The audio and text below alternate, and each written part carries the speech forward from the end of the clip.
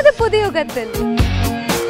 Slim and ஃபிட்டா இருக்கிறதுக்கு simple exercises பொக்கிஷமான மருத்துவ குறிப்புகள். தமிழ்நாட்டில் ஐம்பது சதவீதத்துக்கும் மேலான பெண்கள் ரத்த சோகையால் பாதிக்கப்பட்டிருக்காங்கன்னு ஸ்டேட்டிஸ்டிக்ஸ் சொல்லுது. இந்த ரத்த சோகைனா என்ன?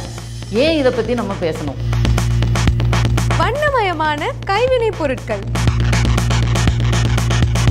பெண்கள் சாய்ஸ் சனிக்கிழமை தோறும் மதியம் பனிரெண்டு முப்பதுக்கு நமது புதியுகத்தில்.